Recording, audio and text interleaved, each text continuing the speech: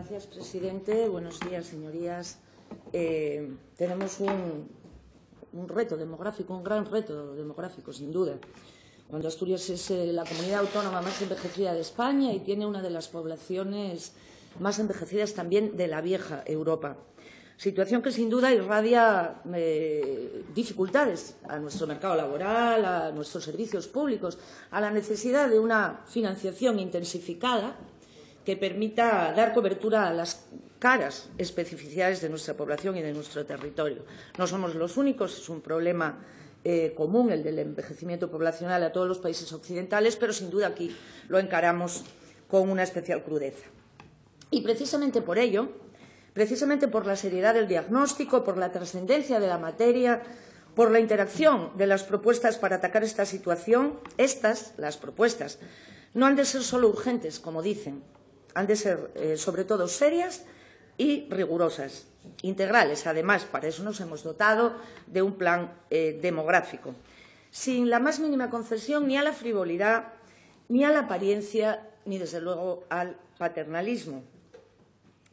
Claro, favorecer la conciliación de la vida familiar y laboral, ampliar los permisos de maternidad, apostar por la eh, administración o por el teletrabajo, dar facilidades en casos de discapacidad, partos múltiples o prematuros, facilitar la adopción o el acogimiento suena bien, muy bien, suena muy bien.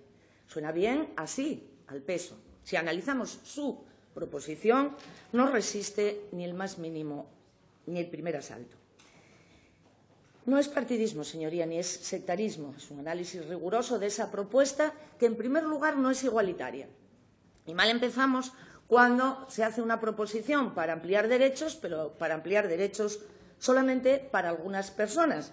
Se beneficiarían de esas medidas únicamente las empleadas públicas, más concretamente las funcionarias públicas, pues la la, las medidas ni implican a los varones ni alcanzan al personal laboral al servicio de la Administración pública. Si ustedes querían que esto fuera envolvente, tendrían que haberlo puesto, desde luego, en su proposición, creando, por tanto, una desigualdad en las condiciones laborales de los empleados públicos. Pero es que, además, tal como lo plantean, ni siquiera es legal, ni siquiera es ajustada a derecho, ya que vulnera la legislación básica en la materia, incurriendo en inconstitucionalidad.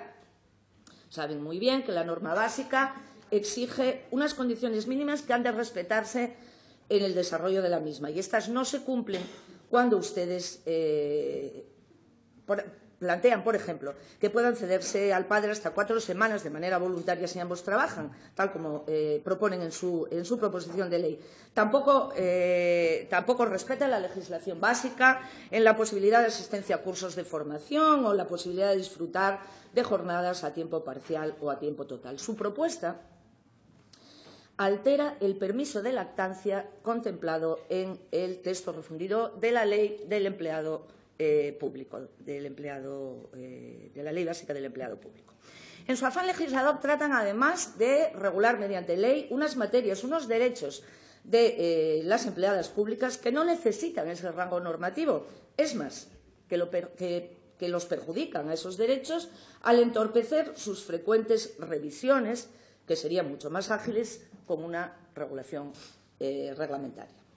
Ya el EBEP, de nuevo, prevé un mecanismo claro para avanzar en este tipo de derechos mediante acuerdos y negociación colectiva que luego se plasman en decretos. Introducen también cierta confusión al referirse al teletrabajo para todos los empleados públicos cuando la modificación propone que se regule solo los del personal funcionario, sin prever la garantía de la prestación del servicio o con expresiones tan poco afortunadas como fuera de la Administración, que puede afectar, como bien saben, a la ley de protección de datos. Y miren, yo ya para terminar, eh, tengo que decirles que además el teletrabajo, que sin duda conlleva ventajas importantes, y es verdad que hemos aprobado recientemente aquí una proposición al respecto, no puede presentarse como la panacea para las mujeres que han sido madres no al menos para muchas de ellas. He escuchado en cientos de ocasiones a compañeras de trabajo, a, a mujeres que han sido madres, que en estas situaciones muchas veces el trabajo es liberador. Acudir al puesto de trabajo y socializar impide que se confinen en el hogar y que acaben adoptando la multitarea del trabajo, del cuidado de los hijos y de la casa, Y se me viene a la cabeza inevitablemente una imagen de una señora con una mano en el ordenador, la otra en el guiso y con el pie acunando al niño.